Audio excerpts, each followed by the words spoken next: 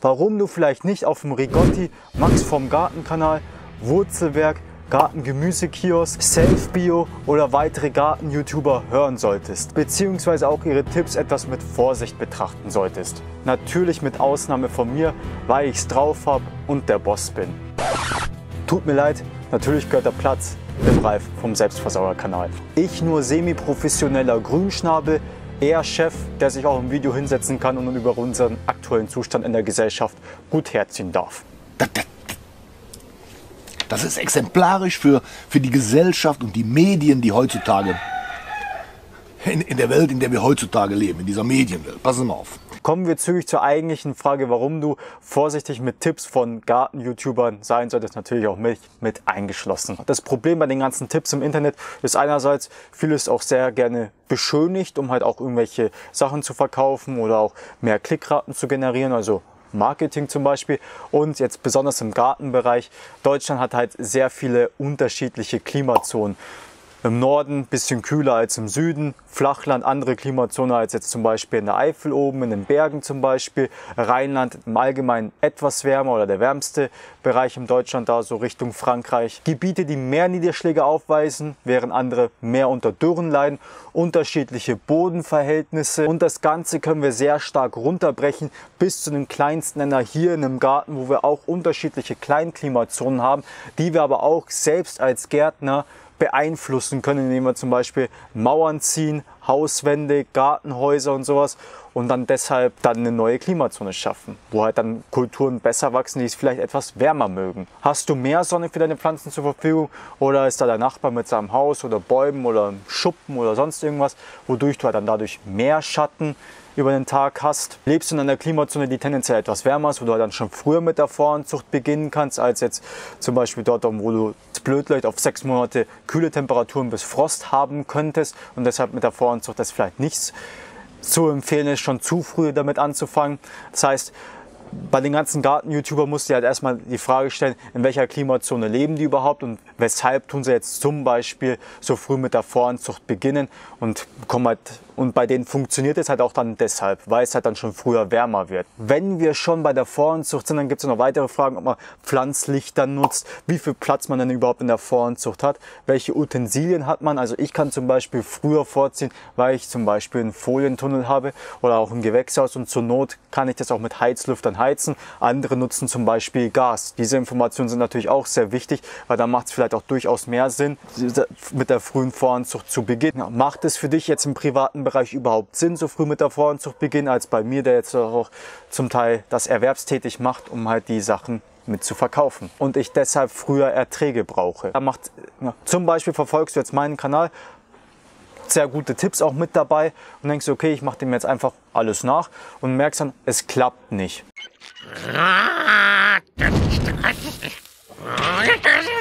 Weil du vielleicht jetzt bei der Eifel oben wohnst, anstelle wie ich jetzt im Flachland von Oberbayern. Das ist mir in meinen Anfängen auch passiert, als ich dann die Videos von Selfbio angeschaut habe und ich dann halt das auch alles nachmachen wollte, weil die ja auch in einem erwerbstätigen Bereich gehen und ich das halt auch in die Richtung machen wollte und ich halt dann einfach festgestellt habe, die wohnen halt dann auch in einer Klimazone, die ein bisschen wärmer ist, als sie bei mir ist. Deshalb wegen wachsen die Sachen auch viel besser und effektiver, vor allem weil sie auch mehr Utensilien zur Verfügung haben, vielleicht auch noch heizen, was ich halt alles nicht zur Verfügung habe.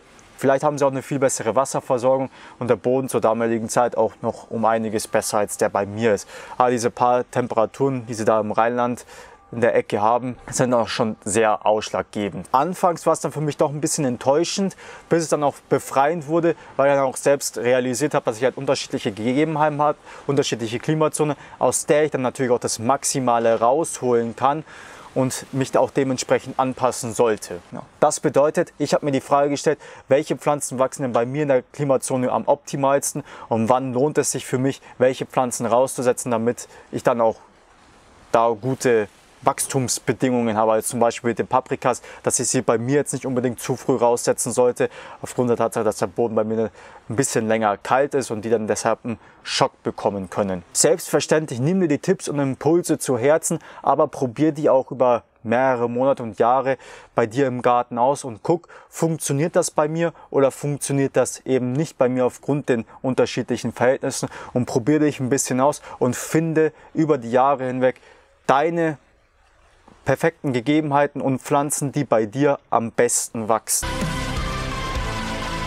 bevor man irgendwelche langjährigen Sachen anpflanzt oder etwas, was vielleicht unangenehm riecht, wie zum Beispiel Bubats, vielleicht mal ein bisschen vor mit den Nachbarn abklären, ob die das gut finden oder nicht, weil so ein Nachbarschaftsstreit kann schon nervtötend sein oder wenn du halt einen Baum zu nah an die Grenze gesetzt hast und den deshalb dann abschneiden musst, unschön oder vielleicht noch gar fällen. Also lieber dicke mit den Freunden sein, anstelle die ewige Konkurrenz wie die Deutschen mit den Franzosen. Ja, prima. Dann auf in den Kampf. In Verdun warten 70.000 französische Jungfrauen, die von uns besiegt werden wollen. Das macht das Leben viel einfacher. So, ach ja, etwas fürs Köpfchen und auch ein bisschen was für dein Stresslevel, sagen wir mal. Ein bisschen die Erwartungen runterschrauben. Fehlerfreundlich sein, Sachen ausprobieren. Die müssen nicht sofort klappen. Einfach mal ausprobieren, gucken, wie kann man das verbessern. Vielleicht klappt es dann, vielleicht auch nicht. Erfahrungen gesammelt und nicht hoffen, dass dann die Tipps irgendwie innerhalb von ein, zwei Wochen dann umgesetzt werden. Das ist vor allem im Permakulturbereich sehr wichtig, weil dann die Leute mal auf die schnellen Lösungen abzielen wollen, obwohl halt die Permakultur Prozesse über Jahre hinweg etablieren sollen, beispielsweise Nützlinge ansiedeln, damit du halt natürliches Gleichgewicht hast. Also ich habe zum Beispiel dieses Jahr überhaupt gar kein Schneckenproblem gehabt oder nicht so stark wie die meisten. Warum? Ich habe die nötigen Prozesse schon Jahre davor in die Wege geleitet und habe das stetig weiter fortgeführt. Den auf Krampf und erzwungenen Perfektionismus ein bisschen zurückschrauben. Wenn du Kinder hast, oder mal Kinder großgezogen hast, erstmal super Leistung, hast was im Leben erreicht. Mal die mal beobachten, wie haben sie mit dem Laufen angefangen, sind aufgestanden, hingefallen, aufgestanden, hingefallen, haben ausprobiert, genauso wie mit dem Sprechen.